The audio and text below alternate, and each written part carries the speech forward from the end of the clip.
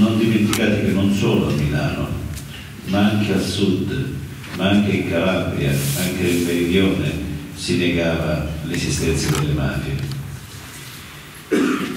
Ma eh, noi attraverso questa ricerca storica che abbiamo fatto, partendo da prima dell'Unità d'Italia, partendo eh, da, da uno studio durante il regime borbonico, proprio nell'isola di Favignana c'erano i detenuti politici, che erano campani, siciliani, calabresi,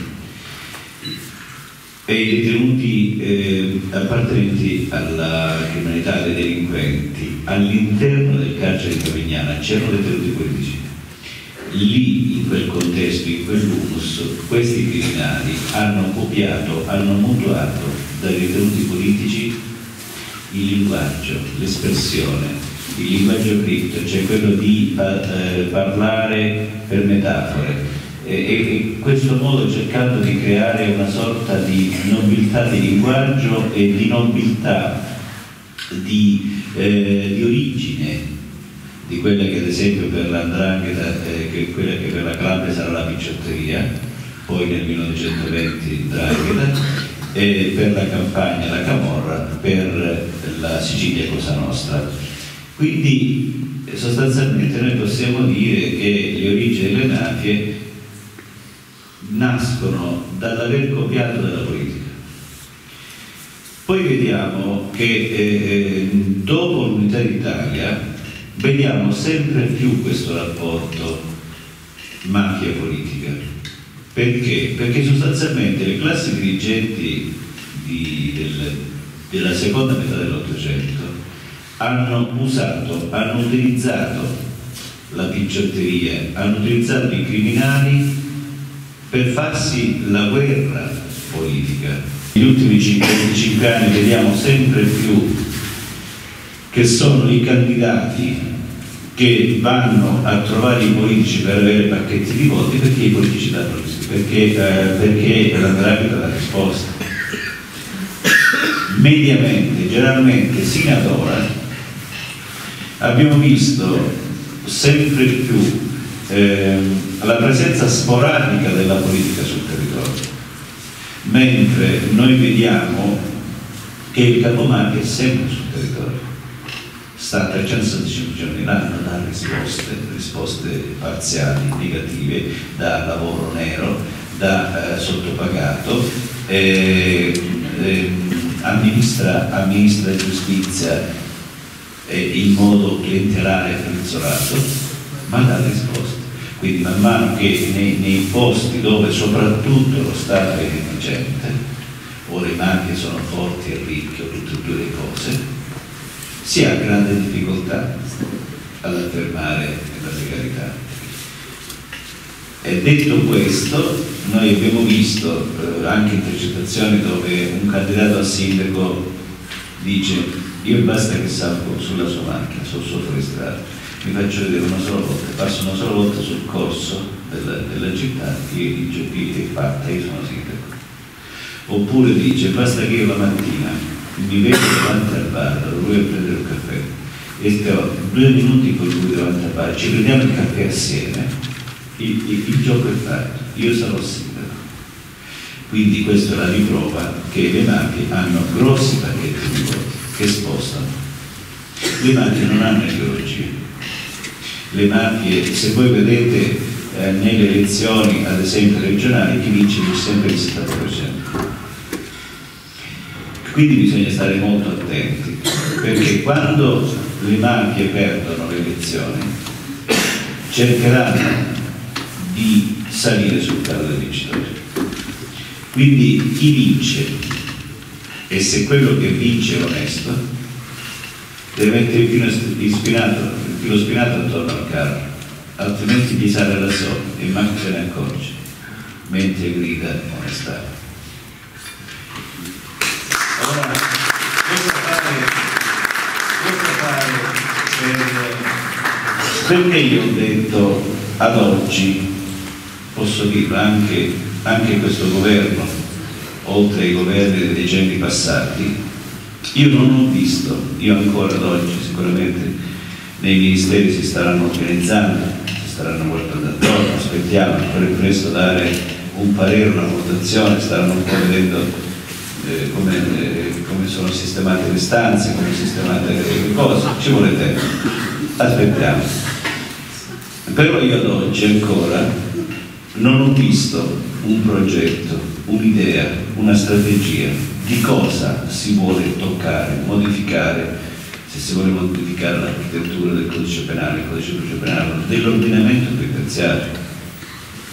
Eh, Morra prima parlava eh, delle carceri, che non c'è nessuno nel, eh, dei reati contro il pubblico amministrazione non si va in carcere.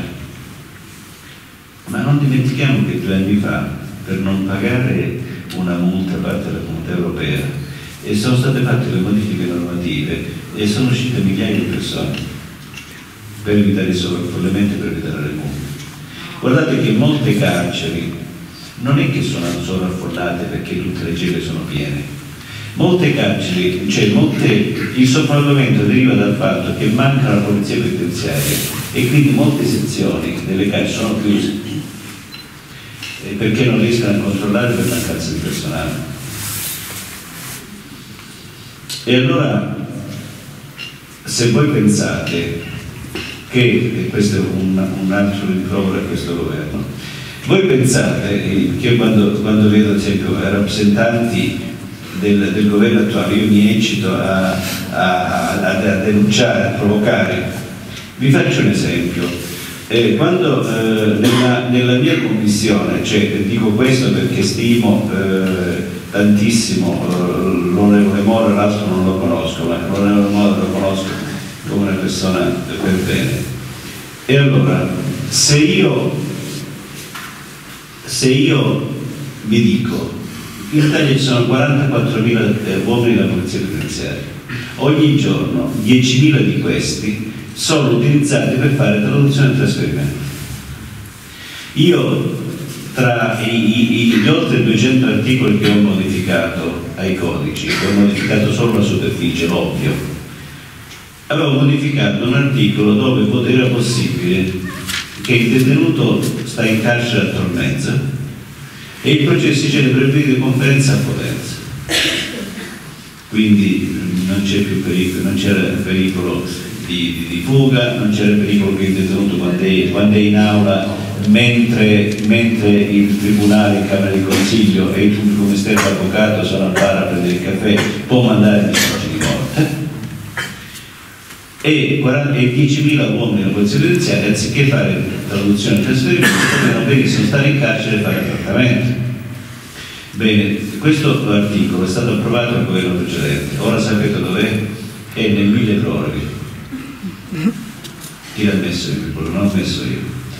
Quindi voglio dire, state attenti perché il tempo passa, i mesi passano, gli anni passano e si rischia eh, di aver, eh aver dato, eh, lanciato tante aspettative, tante rivoluzioni e poi ci troviamo a parlare di, di robetta, di piccole cose, non di grandi serie. La lotta alla mafia eh, si fa modificando contemporaneamente piccole, medie e grandi cose ma prima di parlare di contrasto alla mafia bisogna far funzionare la macchina prima di parlare di lotta alla mafia bisogna far funzionare il processo perché quando io ho detto mi rifiuto di discutere di prescrizione perché io eh, ritengo che nel 2018 in un paese civile e termini come prescrizione, amnistia, indulto, sanatoria devono sparire dal vocabolario della lingua italiana.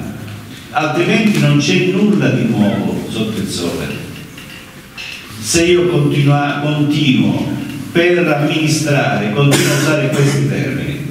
Questi termini fanno parte del vecchio, non fanno parte dell'efficienza, dell'informatizzazione del processo, che voi sapete che l'informatizzazione abbatte i tempi, abbatte i costi, abbatte il potere discrezionale dell'uomo, quindi l'abuso.